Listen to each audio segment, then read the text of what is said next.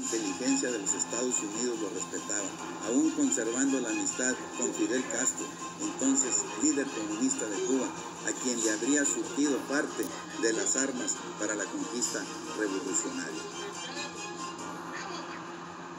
Aunque le achacaban ser narcotraficante, jefe de jefes y hasta el jefe del cartel, él siempre respondió con claridad, con su estilo parco y reservado.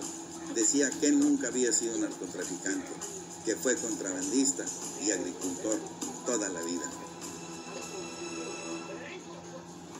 Siempre lo conocí desde chiquillo, pero tenía amistad con él como el, no, el 1997. ¿Cómo, ¿Cómo cuántos años le llamaba hasta Juan? No, pues yo, yo soy del 46, desde el 15 de acá.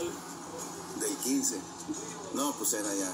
Eh, pero me dio muchos, no como consejos, pero que yo le agarré muchas cosas.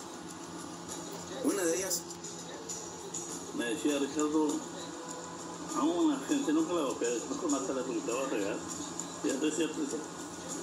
No te va a ocurrir porque te lado de, vergüenza, pero mañana pues